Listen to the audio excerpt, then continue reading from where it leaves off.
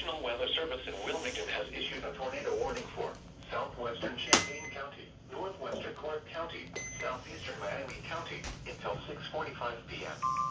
At 6.08 p.m., a tornado-producing storm was oh, located near shit. the city, moving east at 35 miles an hour. Hazard, damaging tornado. Source, radar confirmed tornado. Radar shows tornado debris in the. Spotters are reporting a tornado occurring near Tipp City. Fuck. Impact. Flying debris will be dangerous to those caught without shelter.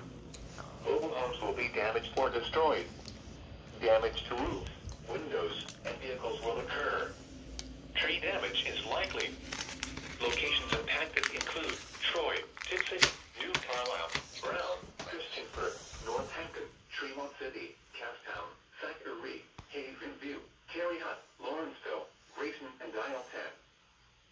includes a 75 in Ohio near mile marker 67.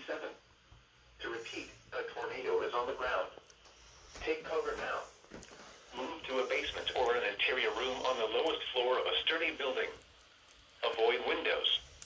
If you are outdoors, in a mobile home, or in a vehicle, move to the closest substantial shelter and protect yourself from flying debris. To report severe weather, go to our website at weather.gov slash submit your report via social media when you can do so safely.